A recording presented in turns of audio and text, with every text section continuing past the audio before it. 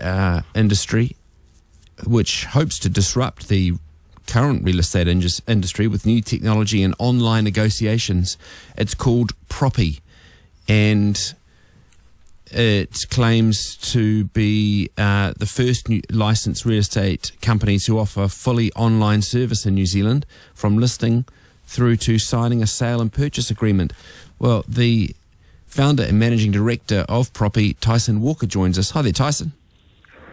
Hi there, James. Hi. Good morning. Uh, good morning. So, people who have been through this process of buying and selling property uh, know full well that it can be disappointing. There can be times when you wonder whether the real estate agent deserves the sort of commission that they get and whether or not they're gaming the process when it comes to some sort of negotiation and offer and acceptance. Yeah, I, I guess um, we, we, hear that a lot in the industry.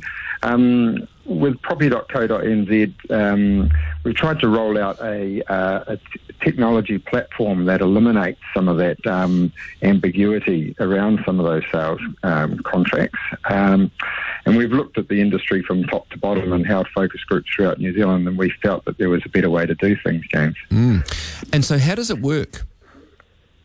Um, so essentially, a seller would come to our website, they'd um, click on sell a property and fill out the details.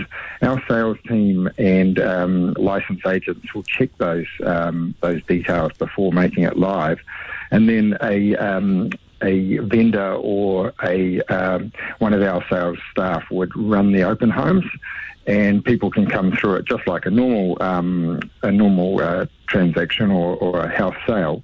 Um, but they would come to our uh, online negotiation platform and they can click make an offer. Um, we will verify their identity and then we, we would ask them a series of questions to complete a sale and purchase agreement. Then they can go through and sign electronically and it can go backwards and forwards between the two players until they come to an agreement. Mm. And so, how do, for those who don't know, how does that differ from the current process that people mostly go through with real estate agents when it comes to this offer and acceptance?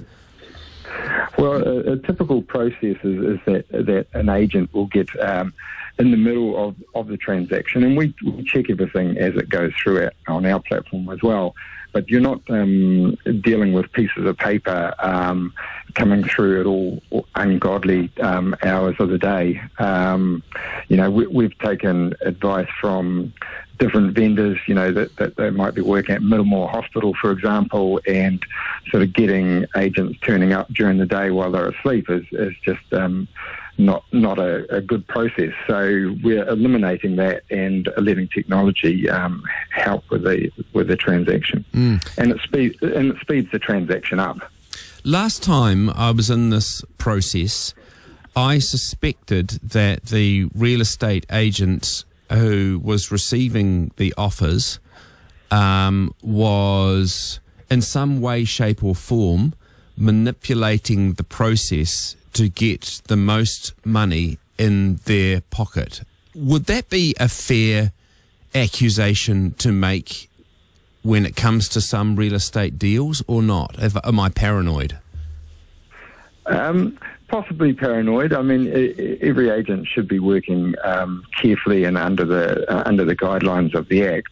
Um, however, you know, with proppy.co.nz, we're using technology to break down that transparency um, so that all all offers will be presented the way that the way that the um, the the buyer wants those to come through, and we just check them to ensure that that, that happens. Mm. it's all transparent and unbiased. So you're saying that this sort of thing doesn't happen when you're not supposed to disclose all sorts of things to each party and uh, and, you know, for instance, not supposed to tell one party what the other party or what sort of ballpark the other party's made an offer on. You're saying that that never happens? Oh, I'm not saying it never happens, mm. but it but it really shouldn't. Oh no, it definitely shouldn't. I mean, it's illegal for yeah. I mean, not denying or um, disputing that fact, but you would be. I mean, we all know that uh, the real estate agents. Um, there are a good many of them who are unscrupulous and uh, this sort of thing must happen quite regularly, if not sort of uh, written down, then unspoken messages given to uh, either side of a transaction. Would that happen? Do you think in New Zealand? Is it possible? Yeah, I believe I believe that does happen. Yes, um, but like, like, I say, that we're we're trying to eliminate that with it using our platform, and um, we believe it's the way of the future. Mm. Oh well, look, um, uh, good luck with that. Uh, and so you're live now, are you? We certainly are. We've been we've been open for uh, a little bit over a year and a half now, um, and we've got um, strong sales coming through, and our commission rate's one and a half percent, which is less than half of a, of a normal agency. So we've been very popular. All right, so that's a, across the board. You just pay one and a half percent of the final uh, agreed sale price, sale price, mm-hmm. and that's at one and a half percent. Uh, that's right. Um, there is a small marketing fee um, to to pay, uh, and that and that covers professional photography, uh, Trade Me, Real Estate uh, .co. So all the different advertising and different channels, um, and uh, we, we've got a raft of different packages to help. So one and a half percent plus the marketing fee, which is how much?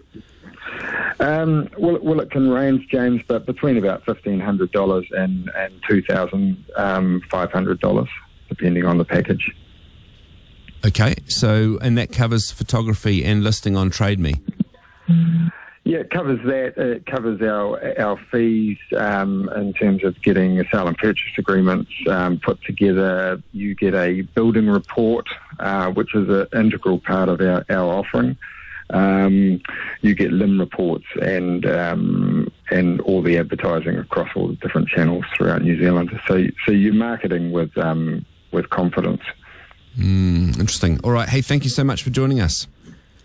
No problem, James. Thanks. Tyson Walker, uh, Proppies, Proppy. It's Proppy. I'm not saying, I'm not mispronouncing property. Proppy's co-founder and managing director. Well, yeah, there's a couple of questions I still have about it, but uh, generally, if you can get around that offer and acceptance process that seems to be fraught in my experience, then uh, that's quite a good thing. It is 5:45.